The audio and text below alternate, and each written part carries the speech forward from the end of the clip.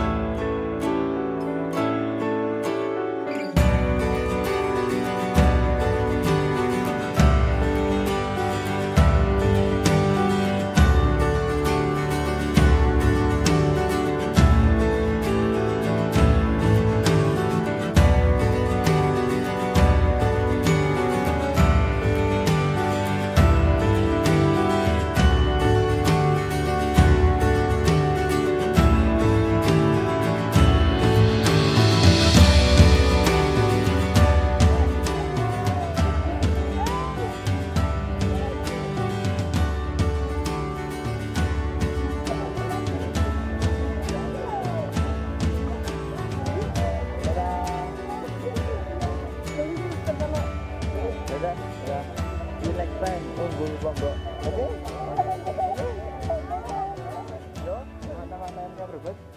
Kita sudah dari Sikunir. Kamu di. Sekarang kita mau ke